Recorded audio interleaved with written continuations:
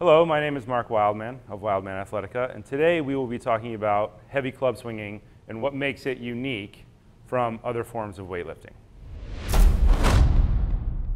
Heavy clubs do something unique. They move laterally, which is something that is missing from most systems of fitness. For the most part, barbell lifting moves straight up and straight down with uh, equally loaded weights on each side of the bar, which is symmetrically loaded. Problem with that is, of course, in the real world, things are not always symmetrically loaded.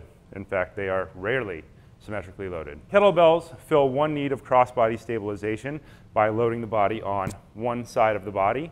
When the body is loaded on one side, the intrinsic core musculature inside the body is trained to fire to stabilize the body. We always are looking for uh, cross-body stabilization, rotation, and anti-rotation in our training in order to make our training more complete and better for us. Every time the club bell moves, pulling away from the body with traction and torsion, the body essentially pulls back in order to be not ripped off of its feet. It's basically a fundamental understanding of balance. Balance is when something tries to disrupt your center line and your body fights back to keep your spine essentially in the center so you don't fall over. By training heavy club swinging in this lateral plane of motion, you are constantly dragging your body in different directions and your body is fighting back.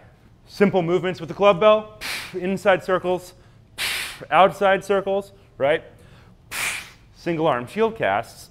That heavy weight is moving around your body. Wherever the, that club is in space, muscles in your core are firing on the opposite side of your body to keep you from being pulled off your feet. Club bells add something very important to training, which is lateral stability of the spine. Stability, your body being pulled off center from left to right. This is Mark Wildman, Wildman Athletica.